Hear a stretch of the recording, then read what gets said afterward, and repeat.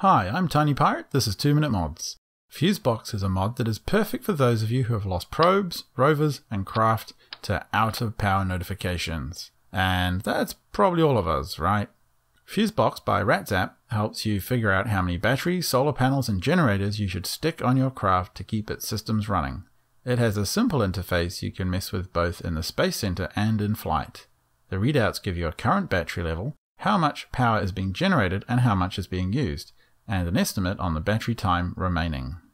Having an idea of how long you can survive on battery power alone, or whether your systems drain more than they generate, is really helpful. Using the filter panel, you can adjust the calculations to take into account things like aerials or reaction wheels being on or off, really helpful when figuring out the viability of your ship.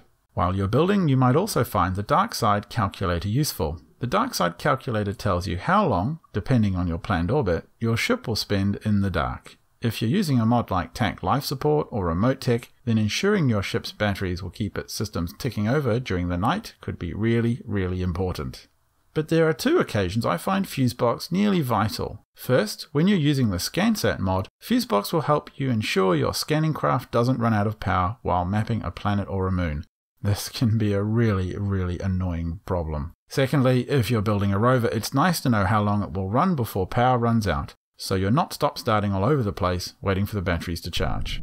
Speaking of which, Jeb, would you stop doing donuts on Eve? We're trying to get some science done here. Get back to work.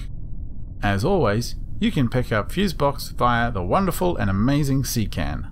I've been Tiny Pirate, this has been 2 Minute Mods. Drop us a note with your favourite mod and I'll look to feature it soon, and subscribe so you don't miss out on the rest of the series.